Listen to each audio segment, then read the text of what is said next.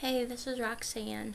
Um, not sure if this video will ever make it onto YouTube, but I'm making it anyways because, like, I'm seriously pissed off. I'm just in, like, a bad mood. And I don't like these feelings because they always make me want to run to food for comfort. And being where I'm at now, I know that that's not going to work because it's just going to make me feel worse and I'm just gonna like go to bed and be all depressed and then try tomorrow to make it better. And I don't want to do that. But and I'm I'm determined not to. I've got my cup of tea waiting for me.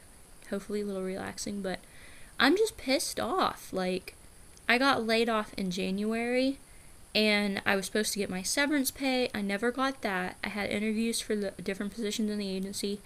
Didn't get those. Um, I had a interview a week ago and it went really well. It was with a different agency, and I hope I get that job. But I'm just like really uncertain, and um, and I'm a little scared, like financially, even though I'm getting unemployment. Um, it's March, and I was unemployed last March, and March is inspection time for my car. And what do you know? If every year, because of the freaking potholes in my town, I don't freaking need new tires every year.